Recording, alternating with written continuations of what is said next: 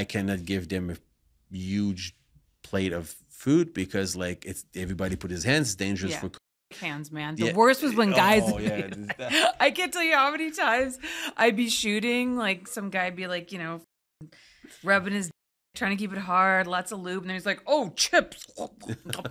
then it goes back to like jerk. I'm like, you just no one's now. No one's gonna eat that. You put your cans Yeah. in the bag of chips, and now you just take that with you. It's all yours. That, that I, I like when they do that too. Like, cause like sometime I will pass my phone to order the food, and the guy, the guy's jerk off. So give me the phone, and he's just like, and he's scrolling around, and I can see the lube on my screen. Just like, really, dude? Just like, can you just wash your hands? It's just like, and even like, even if you ask him to wash his hands, I see, I see girls sometimes just like on the wall, and it's, really, did you do that at your house? Did you?